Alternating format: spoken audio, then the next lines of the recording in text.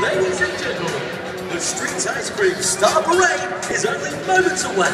To get the party started, please